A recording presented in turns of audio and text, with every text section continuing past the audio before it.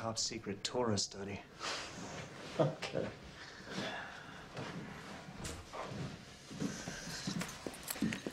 God, that bitch pisses me off.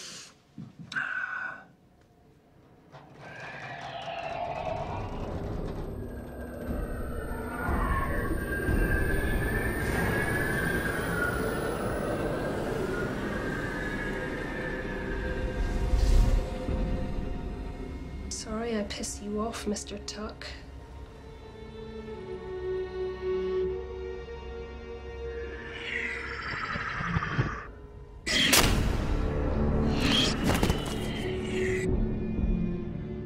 The feeling's mutual.